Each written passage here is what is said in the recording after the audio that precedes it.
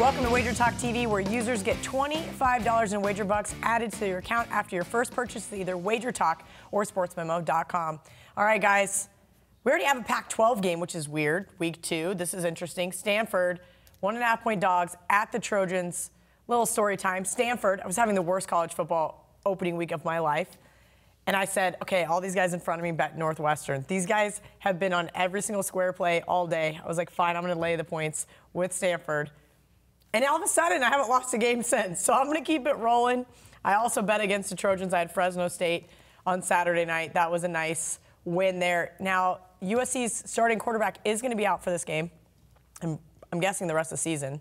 That being said, I don't know I like either side in this game. Mr. Marshall, to the right of me, Bruce A. Marshall on Twitter, Bryan Leonard at B Leonard Sports. Bruce, we'll start with you. Yeah, uh, Kelly, I think you can make a case here for Stanford. And by the way, this reminds me at USC a lot of what happened at Stanford back in 2006. I'm pretty plugged in up there. I do the Stanford pregame show on the radio. And I remember being up there when Walt Harris was still the head coach in 06, and they were having a lot of trouble. Late season game against Oregon State, Stanford scored a long touchdown in its first play of the game. And some Stanford people around me were mad. They're saying, no, no, no, we cannot win this game. We got to get rid of this guy. Sure enough, Stanford ended up losing the game. They fired Walt Harris, and in comes Jim Harbaugh, and the rest is history from there. USC people are kind of thinking the same way, I think, right now about Clay Helton. They won that game last week. They didn't get the cover, like you said, but they know it's not going that well for the Trojans there. And especially now with JT Daniels out for the season with this knee injury. Listen, they built this offense right for him.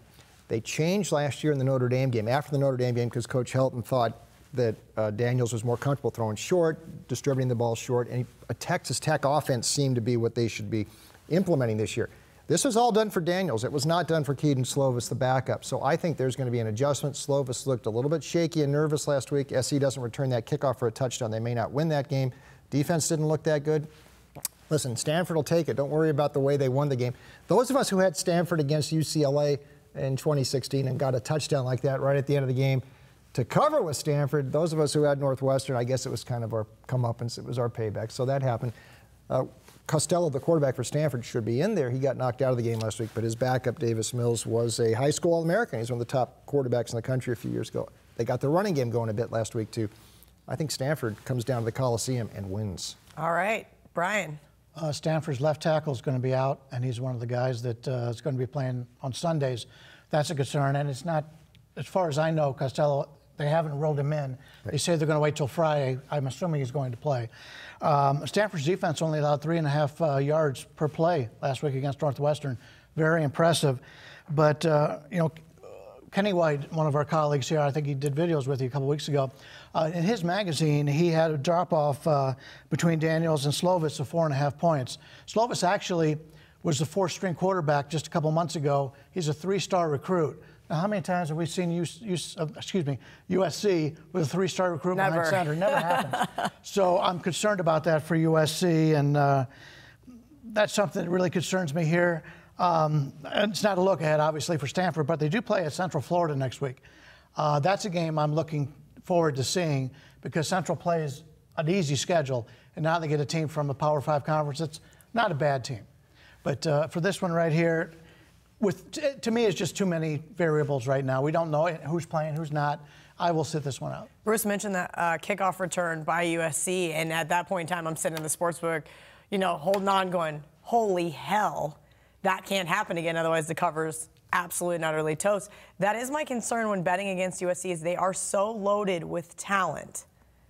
Now, have we seen maybe too much regression from Daniels to the third what did you call him? A three-star recruit. He, he is a three-star recruit. You know, is that, are we seeing maybe the the books know that people know these these uh, injuries happened, and then we saw them not cover last week. Stanford got the miracle. Maybe there's an overadjustment. Well, there there are still some playmakers on that SC team. Don't get us wrong. Or like you saw Kelly in the kickoff return last week, turned that game around, or actually gave SC the cushion it needed to hold off uh, Fresno. But let's not forget Clay Helton is now 8 and 20 against the point spread. Ooh. His last 28 on the board dating back to the Rose Bowl at the end of the 2016 season. He's been a big money burner. Stanford's 10 and 4 against the spread, the last 14 in this series. David Shaw has generally had SC's number. They lost those two games two years ago when Sam Darnold was at SC, but we know the Trojans aren't the same since Darnold left. Stanford was also running the ball last week fairly well against Northwestern, much better than it did last year, and the defense was lights out against Northwestern. I think Stanford's got a lot of reason to be excited about this game, and this is a huge game for Stanford. Don't ever forget that. That is very SC. true. I just wanted to point out once again that USC is always in the top 10 in recruitment. They've got great athletes. They don't have great coaching. And that's the concern you have. They're the, they're- I call them the Texas of the Pac-12. Pretty, pretty well, Texas doesn't recruit nearly as well as USC does. They're top 10 every single year. And if you're looking at uh, their team just based on the amount of talent they have, that tells you their coaching has been lousy. They just haven't gotten anything out of these players. All right, great stuff, guys. Wager Talk TV users get $25 in wager bucks added to your account after your first purchase at wagertalk.com and sportsmemo.com.